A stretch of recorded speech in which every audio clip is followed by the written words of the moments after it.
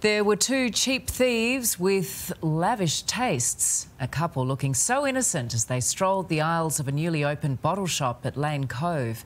But they had their eye on a bottle of French red wine worth a small fortune and had no intention of paying. Expensive taste and thirsty for a drop. An unassuming couple first peruses the Pinot Noir at this Lane Cove fine wine stall. They were really well dressed. So the lady had like a $6,000 handbag, the guy had a really nice Rolex. But aunt looks deceiving. The man finds an unlocked cabinet inside the most prized bottle of Vin Rouge. Not just any old plonk, Domaine de la Romanée-Conti worth $12,500. They knew there were cameras, so I'm surprised that they just did what they did.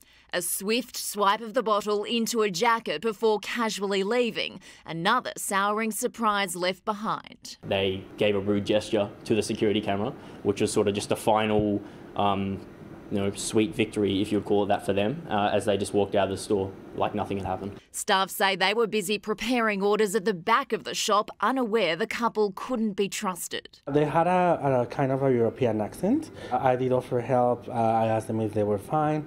Uh, they say they were fine and they're just browsing. There is more than $100,000 worth of exclusive French wine in this display cabinet alone, exactly why it's usually locked.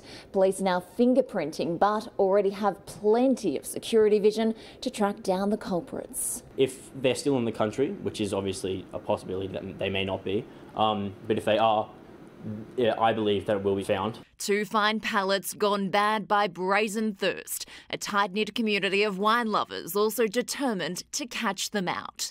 Hayley Francis, Nine News.